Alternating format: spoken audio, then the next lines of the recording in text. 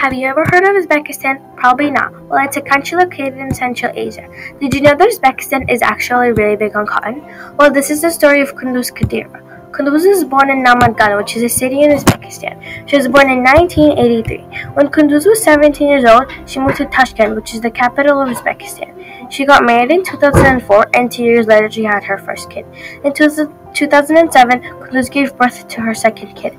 Then, in late 2012, her third and last kid was born. In 2018, Kunduz moved to Georgia with her kids. She lived there for about four years. Kunduz had a big change in her life in December 2022. She decided to move to the US because she wanted better education for her kids.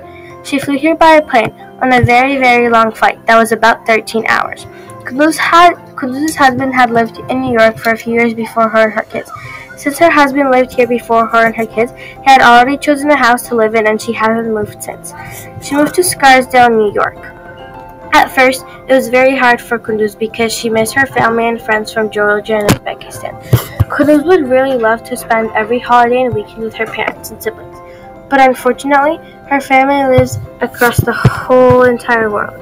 However, Kunduz is very happy that her parents are currently visiting her, and so there were a few pros and cons about moving to a new country.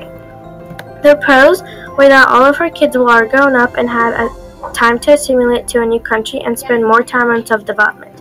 Some of the cons were that it would be better for her to come to the US earlier to achieve more goals. It was also hard for Kunduz to understand all the tax, credit, and healthcare systems because in Georgia and Uzbekistan everything was different. Kunduz never felt like an immigrant because she knew that New York is specifically run by immigrants. She never experienced discrimination here in New York. Nowadays, Kunduz works as a court interpreter and lives with her husband and her three kids.